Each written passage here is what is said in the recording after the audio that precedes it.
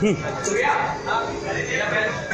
हमारे साथ वरिष्ठ रंगकर्मी और पेंटिंग के बड़े कलाकार सुधीर रंजन जी हैं। हम उनसे पूछना चाहेंगे रंग रंगलक के बारे में और आज की प्रस्तुति के बारे में। सर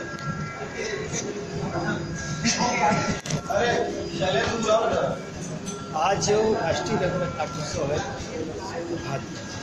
इस बार भी हम लोग कर रहे हैं। इसमें देश की नामी टीमें आई हुई हैं। और ये यहाँ के कर्मियों के लिए सबक बने।